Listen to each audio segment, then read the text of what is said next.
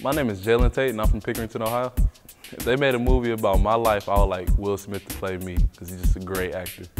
The number one thing on my bucket list is probably to go deep sea diving.